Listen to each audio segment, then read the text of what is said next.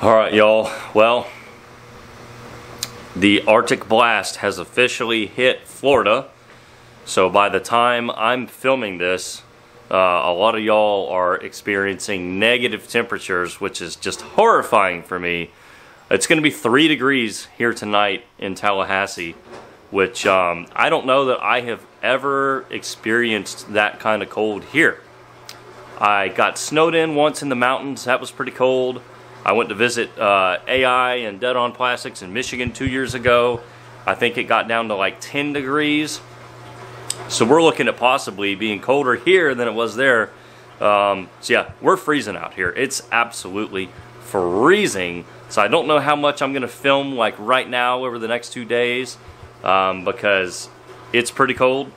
But um, I'm at least going to show y'all what I'm working on today.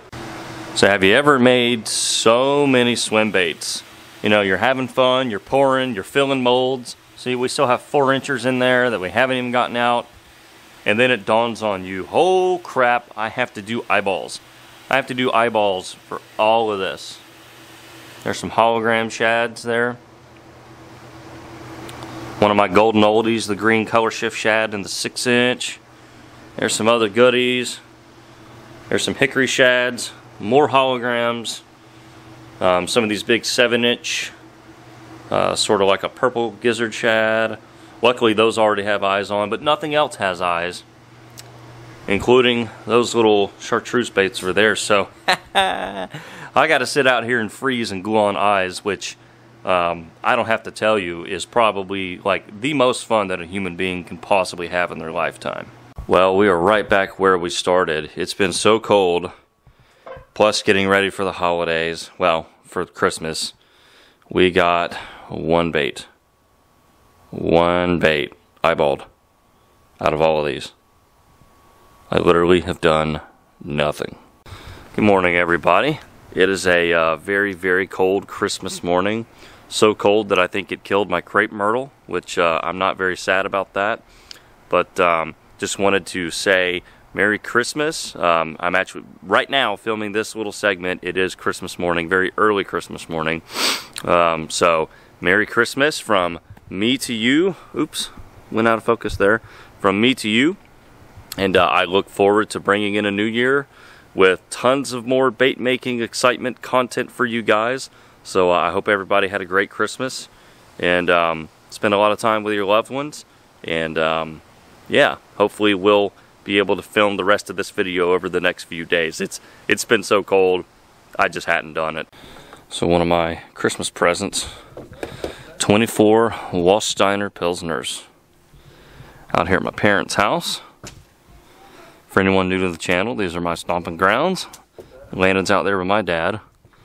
So my dad, uh, it's been so cold, my dad ran a sprinkler. Had all this ice up in the trees, but it's it's kind of starting to melt. You can literally see it just falling. That's absolutely hilarious. But yeah, we're about to have our little uh, Christmas get together. So we'll show y'all some of that. Not much left. You didn't even use a box? Natalie, what'd you get there, huh? Miles, this is Oh, Landon, you're gonna like that. What is it? You know what that is. More construction trucks.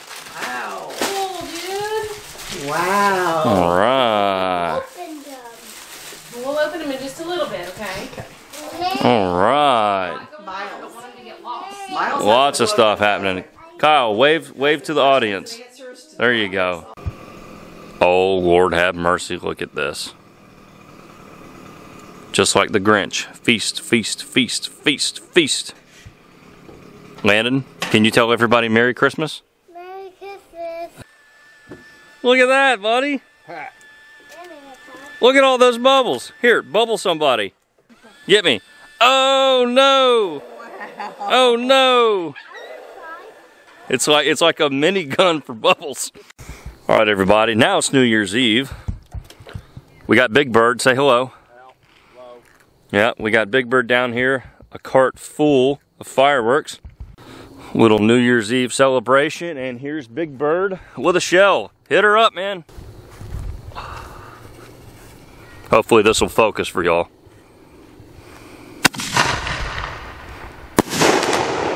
Yes, sir. Here we go.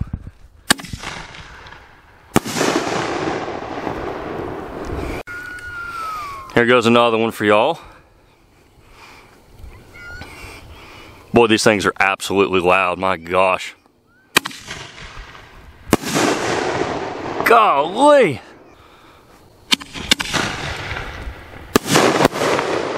Whoa, did one break low? All right, this is a little more up close and intimate. Whoa! Christmas cone. Welcome back, everybody, to the world's worst fishing and Happy New Year. Uh, hope y'all enjoyed that little Christmas into New Year's blog, uh, ending with a little bit of fireworks. And now for some more fireworks in the bait shop. One moment, please. For some more fireworks, we are going to do a comparison laundry noise. Okay, so you may remember last year about this time, January, sort of around the new year, I did the infamous motor oil video, okay? And uh, we had the motor oil apocalypse. Well, I recently just picked up a bottle of what is MF's, I guess, new or current motor oil, okay? So we had the original, now we have the new one, okay? Right? So what we're to do is um, we're to check out the new one. I have not seen this yet. I've not used it. I'm just shaking it up for the first time. And um, we're going to sort of do a little compare and contrast to the original changeable motor oil that uh, was so popular a year ago. Uh, so I'm really excited to see the new stuff. I, I, know Jeff's probably done a great job with this. Um, you know, all of their um, chameleon pigments and changeable pigments are awesome, awesome stuff, like we know. But uh, it just kind of so happened, I just got this bottle. I ordered it maybe two weeks ago, and um, it got here just before the new year. So this is kind of going to be our uh, first video of the year. And uh, I'm excited to check out these pigments, particularly the new flavor of it. So uh, we're going to go ahead and jump in and see how these pigments look and sort of do a little compare and contrast. All right, here we go. So we're going to start with the new motor oil, okay? And here's sort of how you can tell the difference, at least from what I can tell, okay? The number, right? The actual number of the product. That one you can see there is 3300-16-17 RPV, whatever that means. The original is a little bit different. It's just the 3317 RX2. So I don't really know what these numbers mean, but that is the difference in them, okay? All right, so we're gonna give the new stuff a shake and we're gonna set a control here, one measuring cup of plastic, okay?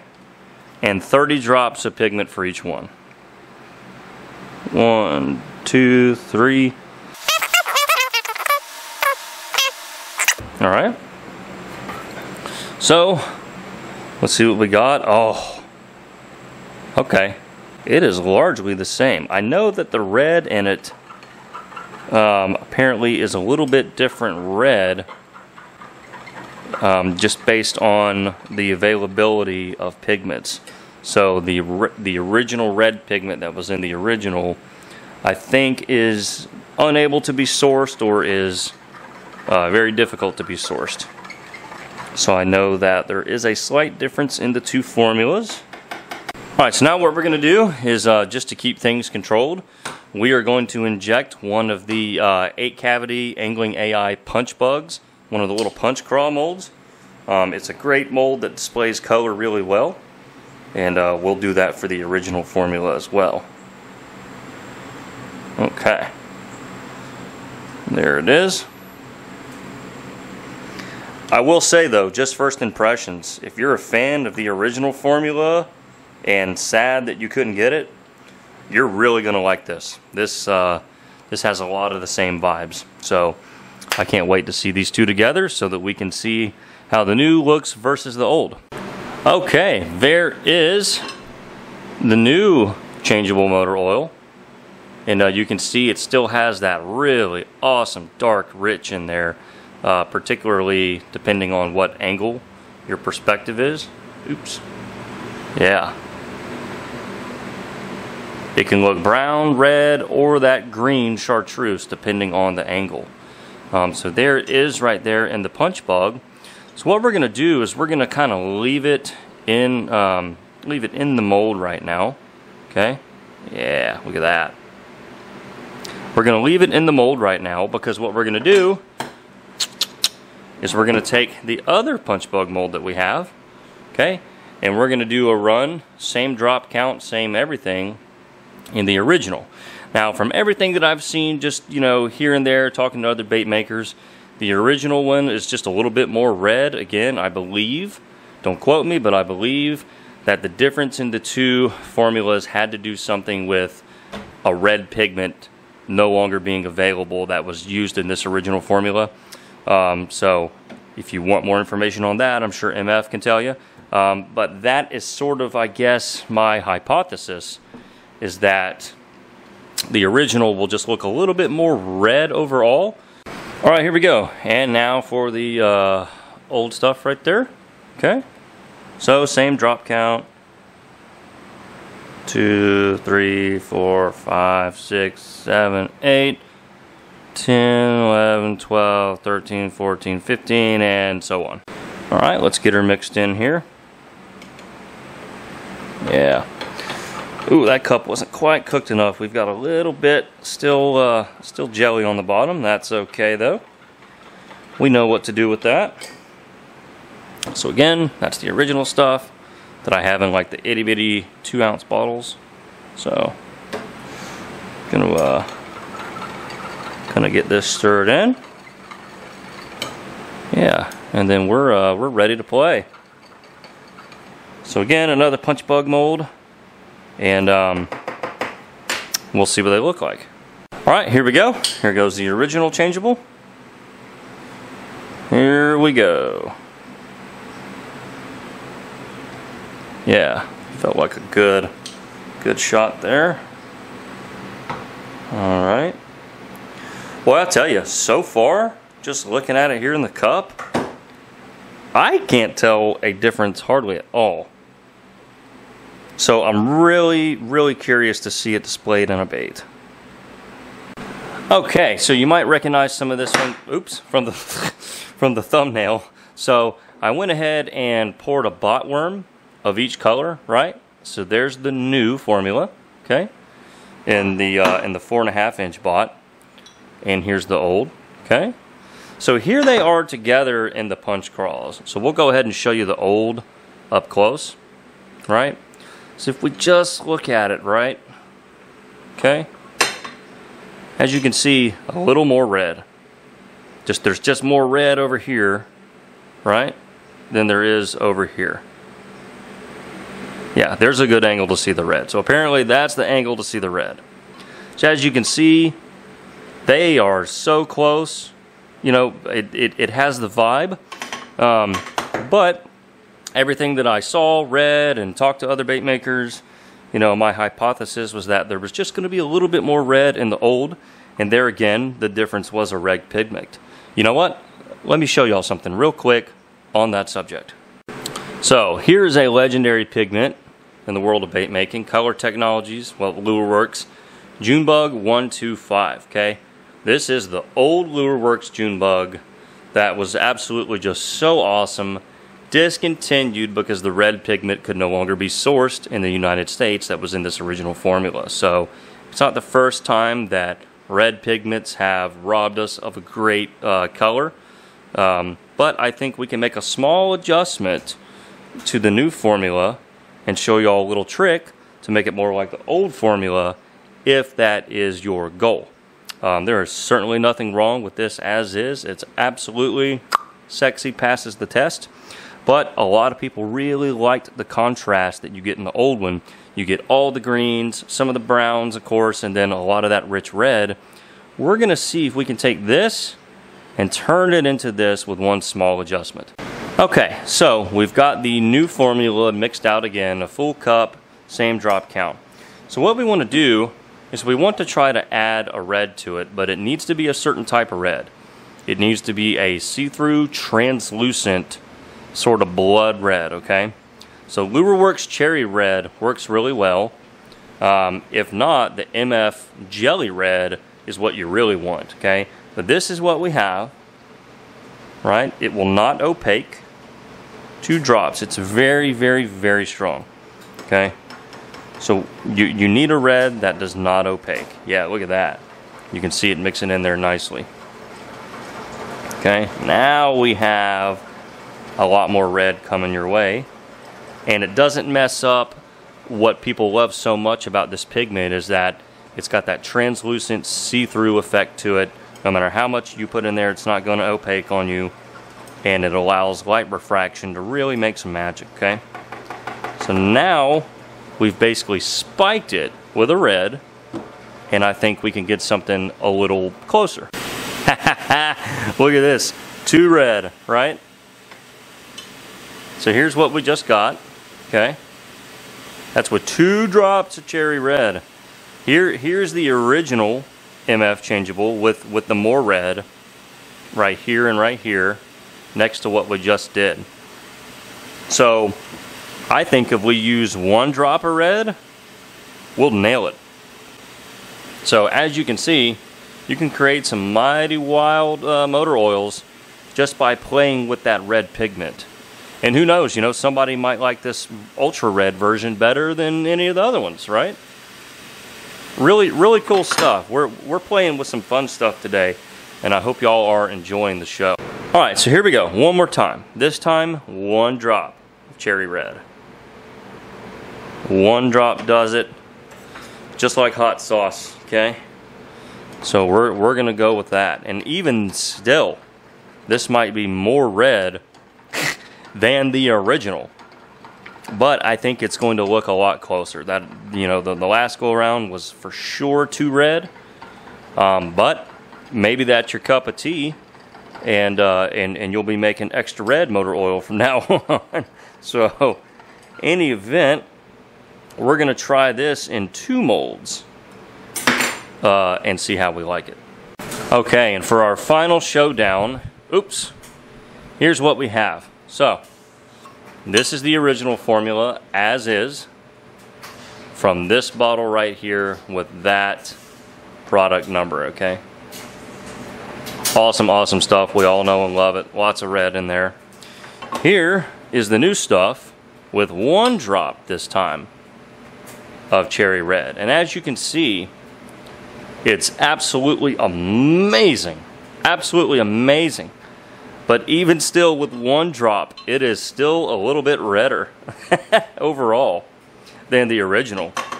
So, what I think you could do to get even closer, okay, is maybe increase by just a little bit your drops of this, but still leave it at one drop cherry red. I think under no circumstances should you use two drops of cherry red.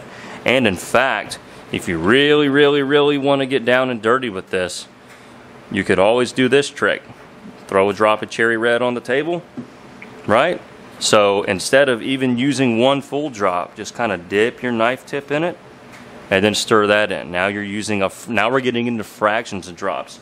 You can even take uh, like, so, so like the tip of scissors, okay? Dab it in pigment and then mix in even smaller amounts, okay? These are all things that you can do to try to dial something in further. But, you know, I think what we've demonstrated today is that this is awesome by itself. Um, you know, this is not really a, a plug for these pigments, but um, I've been wanting to try the new MF motor oil ever since they kind of ran out of the original stuff because I wanted an option to, to keep making this. You know, eventually I'm going to run out of the original stuff and I want to know what my options are to be able to kind of make this color profile again going forward. So I really think I'm pretty close. I'm on to something. And um, I hope y'all have enjoyed this little motor oil battle royale. Um, so it's it's sort of a battle of the motor oils and then taking the new one and playing with it a little bit to see what we can come up with. So yeah, hope y'all enjoyed.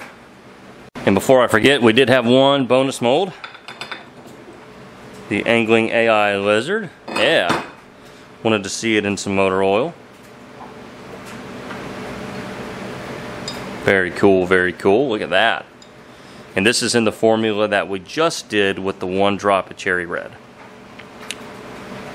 Yeah, looking awesome. Such a great mold.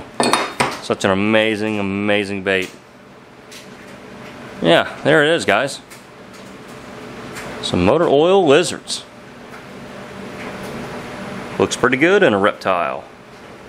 Or an amphibian, whatever the heck those things are. And again, I'd like to thank my two title sponsors, Dead on Plastic, all your plastisol and color needs, and of course AI Molds.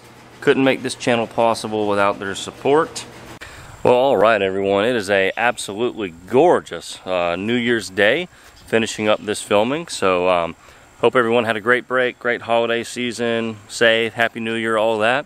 Um, let me know in the comments down below what type of content you would like to see this year, and we will do our best to to make it happen. You know, we we get less time nowadays to, to film on the weekends and um, very little time during the week. Um, so we're, um, you know, a little limited on some of the hours that we can put into the content. But uh, I am all ears as to things that maybe you guys and gals want to see. So um, yeah, let me know. Let me know in the comments below what y'all want to see, and um, we will get get the get the ball rolling. So thanks again for watching the video. We'll see y'all in the next one.